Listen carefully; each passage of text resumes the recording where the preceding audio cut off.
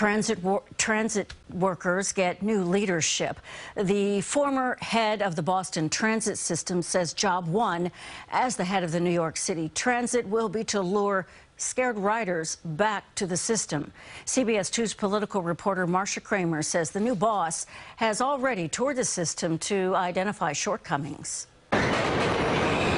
The new president of New York City Transit, that's subways and buses, doesn't start until next month. But he's already ridden the subways and found them, well, wanting in some respects. I did observe riders, you know, standing against walls, for example, or situating themselves near posts or other immovable objects to make sure that someone didn't approach them from behind, for example. I also did see you know, homeless folks sleeping on, you know, platforms. Um, and um, you know, I did see a fare evader. And while the new head of New York City Transit, following in the footsteps of train daddy Andy Byford and train mommy Sarah Feinberg, says he did see a lot of good in the system, he knows that his biggest task will be improving ridership. A combination of crime, the homeless, and pandemic-driven telecommuting has riders avoiding mass transit in droves. Ridership is now about 3.3 million a day. Before COVID, it was 6 million. The riders deserve a better system um, and want a better system. Sitting next to MTA Chair Janno Lieber, the new transit boss identified three top priorities, safety, reliability, which means fixing tracks and signals,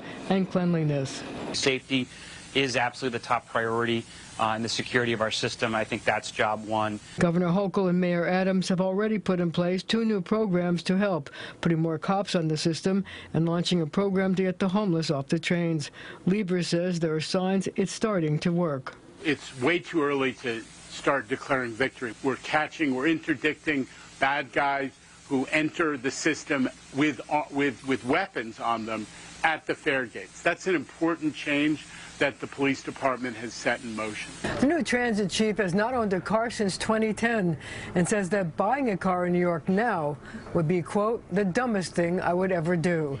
In the newsroom, I'm Marcia Kramer, CBS 2 News.